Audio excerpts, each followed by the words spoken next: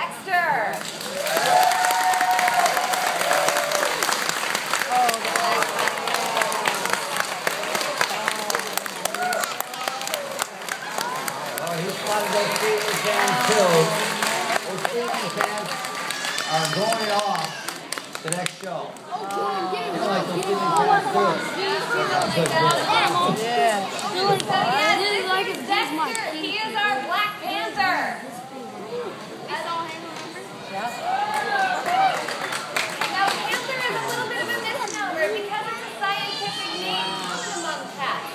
We call cougars and jaguars panthers. So what you're actually looking at today is a black spotted leopard.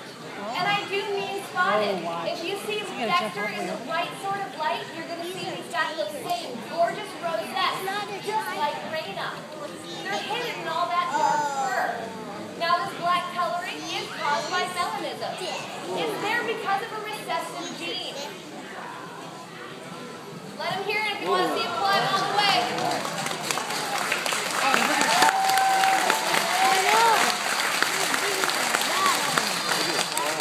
There we go.